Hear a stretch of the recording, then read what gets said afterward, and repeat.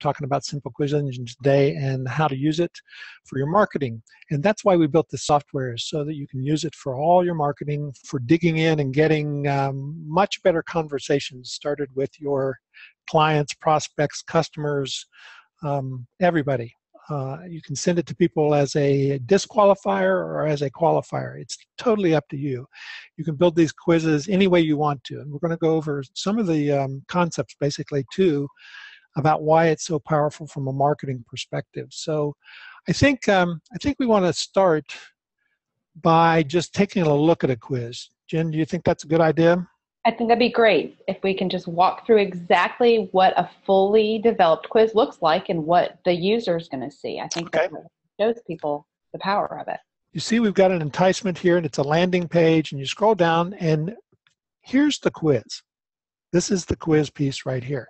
Everything else is the HTML that you build around the quiz. Now, the reason this quiz software is so powerful is all of the quiz functionality lives in the short code that all, all you put on the page is the short code, the quiz question shortcode. So what we've done here is created a six bucket grouping quiz. We have 31 different questions or basically selections behind these six, and we want to narrow those down. So we grouped them so that people could come to them and choose what they wanted. So our groupings are infrastructure and technology, product creation, sales and marketing, strategies, traffic generation, no business yet. So remember the question was, what do you need help with in your business today? So when anyone clicks on any of these groups of questions, you're only going to see a limited set of the 31 that are related to this topic. So that's a way for you to get a complex quiz out to people in a very simple way. What they see is a one question quiz. Which area do you need to start in? So if I choose product creation, then it loads below with the selections that we have.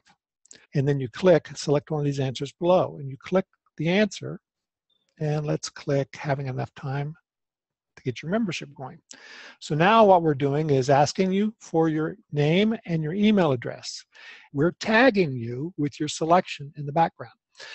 Not everyone needs tagging. And that's, we have basically three kinds of quizzes. There is the straight opt-in using an opt-in form. There's an integration with platforms that we integrate with, like Infusionsoft, ActiveCampaign, uh, MailChimp, Aweber, those folks. Um, and you can integrate and tag people, or you can just have a straight referral quiz where there's no opt-in or anything like that. That's great for affiliate marketers. Um, I'll put in my information here. And choose got to put in a full email address. And I choose submit your choice to get the free training. And then a new page, it goes to the results page. And the results page, everything else like on our quiz page, everything on this page is HTML. It just fits in. And this is from, this is a short code from the quiz itself that is relevant to the selection that you made. So in that quiz, we had 31 selections and we had 31 different responses based on your selection. So uh, if you, we chose in this one uh, membership sites. So here's something talking about membership sites, and here's a little two minute, minute 30 video from me talking about membership sites. And, um, and then basically it's telling you to go get in your email, we've sent you those training sessions in your email. So we're addressing your concerns specifically and dynamically and also at that time, we're giving you an opportunity to get into the Insiders Club. Okay, so does that make sense, Jen? It does. And before you move on, though, I really want to make sure that everybody understands this is incredibly powerful because mm-hmm. most of the other quiz options that you have out there right now require a different URL for a different response. Mm-hmm. So if we were going to create the same exact quiz on another platform to deliver this content, I would have had to create 31 different results pages.